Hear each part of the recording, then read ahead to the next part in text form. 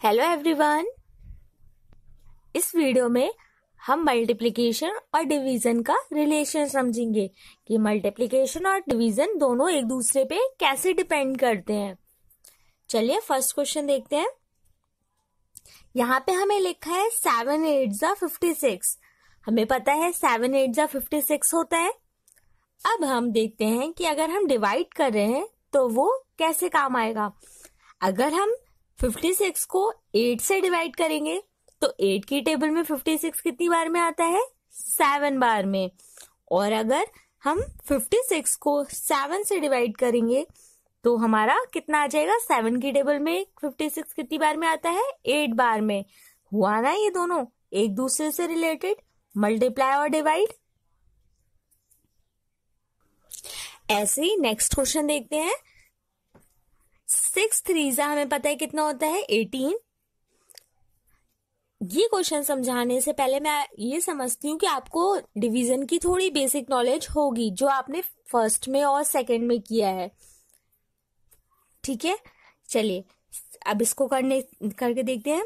अगर हम थ्री को एटीन से डिवाइड करते हैं, एटीन डिवाइडेड बाय थ्री तो एटीन की टेबल में थ्री कितनी बार में आता है? सिक्स बार में, आ गया सिक्स। और अगर हम एटीन को सिक्स से डिवाइड करते हैं तो एटीन की सिक्स की टेबल में एटीन कितनी बार में आएगा? थ्री बार में। आ गया ना? अगर हम सिक्स और थ्री की मल्टीप्लाई करते हैं तो एटीन। और अगर हम इसको डिवाइड करते हैं तो जिसकी मल्टीप्लाई करने पे हम डिवाइड कर रहे हैं, वो नंबर आ जाता है। अब यहाँ पे सिक्स सेवन जा फोर्टी टू होता है। फोर्टी टू को अगर हम सिक्स से डिवाइड करेंगे तो कितना आ जाएगा? सेवन और अगर हम फोर्टी टू को सेवन से डिवाइड करेंगे तो आ जाएगा सिक्स सेवन के टेबल में फोर्टी टू कितनी बार में आता है? सिक्स बार में।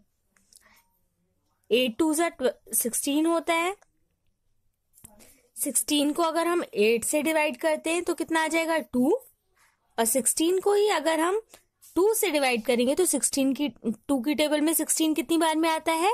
एट बार में। तो आ जाएगा एट यहाँ पे फाइव और सिक्स को डिवाइड कर मल्टीप्लाई करना है। फाइव सिक्स या थर्टी होता है। थर्टी को अगर हम फाइव से डिवाइड करते हैं मतलब फाइव का टेबल अगर हम पढ़ रहे हैं तो थर्टी कितनी बार में आएगा? सिक्स बार में। और ऐसे ही थर्टी अगर हम सिक्स से डिवाइड करते हैं तो सिक्स का टेबल अगर हम कितनी बार में पढ़ेंगे? जो हमारा थर्टी आ जाए तो फाइव बार में। यहाँ टेन है मल्टीप्लाई टू लिखा है मतलब टेन टू से ट्वेंटी होता है। पता है हमें ये बात? ट्वेंटी की टेबल को अगर हम टू से डिवाइड कर रहे हैं तो टू की टेबल में ट्वेंटी कितनी बार में आएगा? टेन बार में। और ट्वेंटी को ही अगर हम टेन से डिवाइड कर देंगे तो टेन की टेबल में ट्वेंटी कितनी बार में आता है? टू बार में। मतलब ये दोनों एक दूसरे पे डिपेंड करते हैं।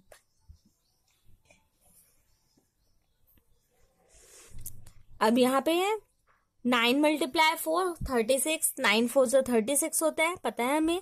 थर्टी सिक्स को अगर हम नाइन से डिवाइड करेंगे तो फोर आ जाएगा, क्योंकि नाइन की टेबल में थर्टी सिक्स कितनी बार में आता है? फोर बार में। और थर्टी सिक्स को अगर हम फोर बार में डिवाइड करना है तो कितना आ जाएगा? नाइन समझ में ये क्वेश्चन है ना इजी नेक्स्ट देखते हैं। कंप्लीट द फॉलोइंग करना है हमें। जैसे यहाँ पे ही करा था, वैसे ही करना है। अगर हमें मल्टीप्लाई दे रखा और डिवाइड में पूछा है कि क्या आएगा? सेवन थ्री सा पता है मैं ट्वेंटी वन होता है। अगर ट्वेंटी वन को थ्री से डिवाइड करें तो क्या आ जाएगा? ये वाले दोनों नंबर यूज़ किए तो क्या आ जाएगा? ये सेवन। अभी हमने देखा था, अगर हम ये दो नंबर यूज़ करें तो हमारा आंसर ये आता था। अगर हम ये दो नंबर यूज़ करें तो हमारा आंसर ये वाला नंबर आ जा रहा था। वैसे ही ये करना है। एट फाइव पता है फोर्टी तो फाइव की टेबल में फोर्टी कितनी बार में आ जाएगा? ये दूसरा वाला नंबर नहीं है तो वो यहाँ पे आ जाएगा एट बार में। और वैसे भी फाइव की टेबल में फोर्टी कितनी बार में आता है? एट बार में। टेन मल्टीप्लाई सिक्स होता है सिक्सटी सिक्सटी को सिक्स से डिवाइड करेंगे तो कितना आ जाएगा सिक्स से डिवाइड करेंगे तो कितना आ जाएगा? Ten next seven multiply four कितना होता है? ट्वेंटी एट ट्वेंटी एट को फोर से डिवाइड करेंगे तो कितना आ जाएगा हमारा? सेवन समझ में आए ना? नेक्स्ट करते हैं. Using the multiplication table and fill the blanks यहाँ पे तो हमें मल्टीप्लाई करके दे रखा था दोनों क्वेश्चंस में. अब यहाँ पे हमें मल्टीप्लीकेशन नहीं दे रखी है, हमें खुद से मल्टीप्लाई मतलब सोचना है और करना है. Thirty four thirty two divided eight अब एट की टेबल में थर्टी टू कितनी बार में आता है?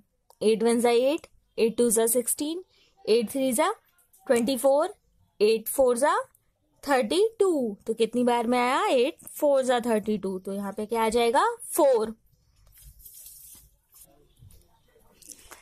यहाँ पे फिफ्टीन को डिवाइड करना है थ्री से। तो थ्री की टेबल में फिफ्टीन कितनी बार में आएगा?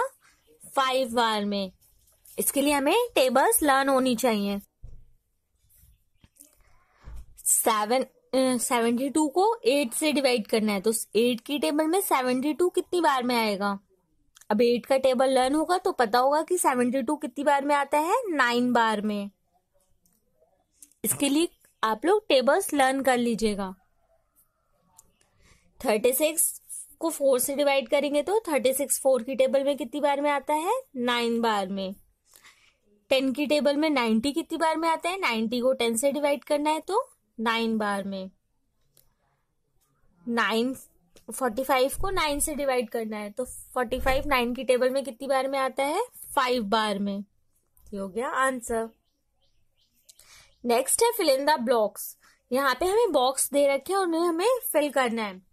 जब भी हम किसी दो सेम नंबर को, जैसे यहाँ पे लिखा है 65 और 65 अगर हम 65 और 65 को डिवाइड करेंगे तो आंसर हमारा क्या आ जाएगा? वन कभी भी हम किसी दो सेम नंबर को डिवाइड करते हैं तो आंसर हमारा वन आता है। और अगर हम किसी नंबर को ज़ीरो से डिवाइड करते हैं तो आंसर हमारा ज़ीरो आ जाता है। यहाँ है सिक्सटी वन सिक्सटी फाइव और सिक्सटी फाइव को डिवाइड करेंगे तो कितना आ जाएगा? वन अब यहाँ पे हमें आंसर वन दे रखा और यहाँ पे लिख रखा है one hundred twenty seven answer कब वन आएगा? जब हम दो सेम नंबर्स को डिवाइड करेंगे तो यहाँ पे भी क्या जाएगा? वन हंड्रेड ट्वेंटी सेवन यहाँ पे भी हमें आंसर वन दे रखा है और यहाँ पे टू हंड्रेड ट्वेंटी टू दे रखा है। तो यहाँ पे भी कौन सा नंबर आ जाएगा? टू हंड्रेड ट्वेंटी टू क्योंकि जब हम दो नंबर सेम होते हैं, तभी आंसर हमारा वन आता है। थर्टी को अगर वन से डिवाइड करेंगे तो कितना आएगा?